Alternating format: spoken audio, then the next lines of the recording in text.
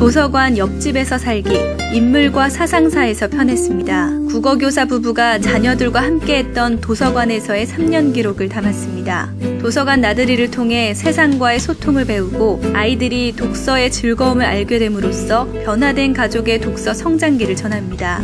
가족이 함께하는 도서관의 가치를 새롭게 인식할 수 있도록 꾸민 책입니다.